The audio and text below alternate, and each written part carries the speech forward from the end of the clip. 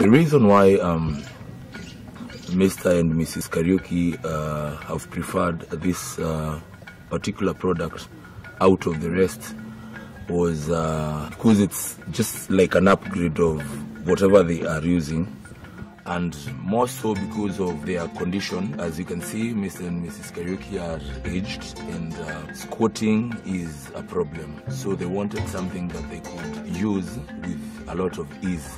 And to add on that, uh, Mrs. Kariuki has a physical uh, disability with her leg and this uh, comes in a big way to sort her out.